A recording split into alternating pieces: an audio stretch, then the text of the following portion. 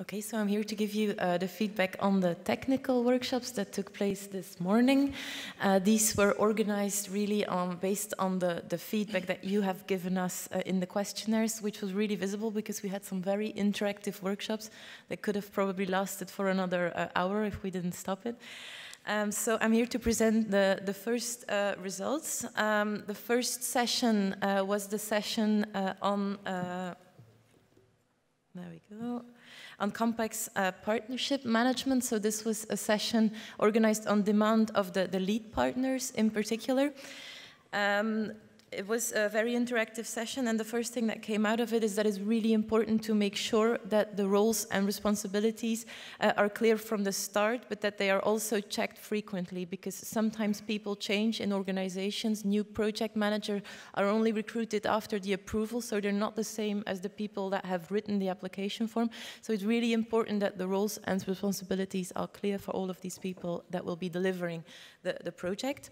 Foster trust and sharing between namely through site activities. So um, teleconferences are really good, but cannot replace actually getting to know your partners. So there was one project that even did uh, a team building, uh, building Lego uh, and, and trying to construct their, project. their project. Uh, ensure uh, intensive communication uh, during the meetings, but also uh, in between. This should be really tailored to the type of project that you are having, but also to the type of organizations that are involved in your project.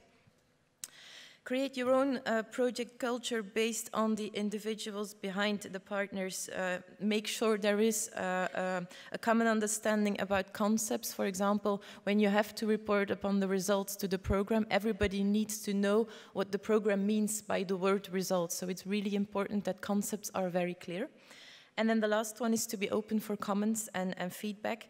Uh, every, every partner really needs to take ownership of, of what is written in the application form, and you need to be flexible and adapt uh, where necessary. The second session took, uh, that took place this morning was uh, on the, the, involvement, the, uh, the effective involvement of the target groups uh, into the project. Uh, a first uh, comment was that there needs to be really a very clear definition of who your target groups are, what the communication objectives are, and you need to discuss this really at the start of the project. Uh, most of the partners have a very clear Excel uh, to monitor, to really define who these target groups are, but also that will allow them to monitor them and to report upon uh, the target groups in the annual progress report.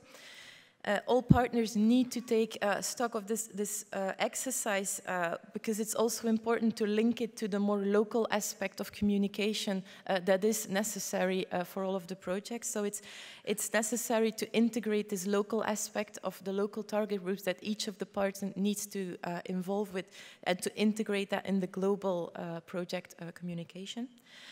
Uh, ensure uniform communication. So even though you have local communication and you communicate through uh, partners' websites, for example, try to have a, a, visual identity that can still be used so that people know that it is the project that you are communicating about adapt the channels and uh, the products to uh, the audience. So this is really about effectively reaching them, um, knowing the audience uh, first of all, but also knowing that the type of uh, channels that they use regularly. So these are the ones that you need to target with the project. And then last, make use of existing events, make use of free tools, social media to reach a maximum of people.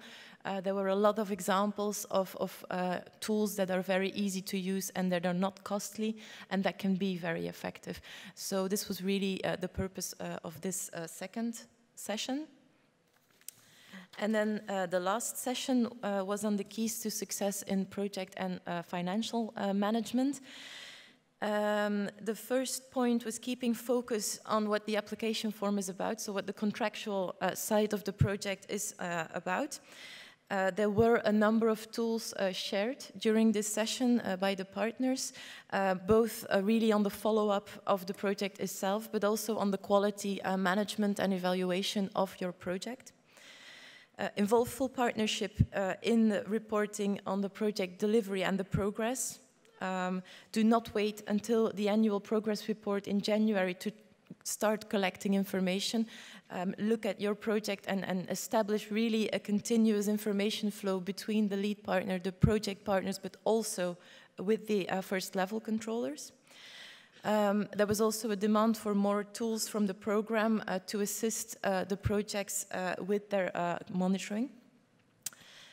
Uh, a third point is the real, realistic spending forecast, which is really important, but also an ongoing monitoring of the financial expenditure for each of the partners. So there was a suggestion to start every partner meeting with a financial state of play to make sure that everybody is aware of the full picture and that you do not wait until the financial claims. And then last but not least, um, try to organize a very efficient meeting, uh, kickoff meeting with your first level controller at partner level. And do not only speak about the financial side of it, also explain to your FLC what the project is about and what you will be realizing in the project so that it becomes more concrete uh, for your FLC when he will have to validate the cost. So these are obviously only a few of the conclusions um, of uh, the three sessions this morning.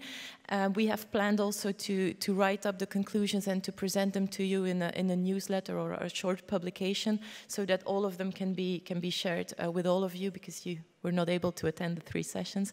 So, but thanks anyway to all of the participants this morning because uh, thanks to you we had very interactive sessions and a, a lot of feedback. Thank you.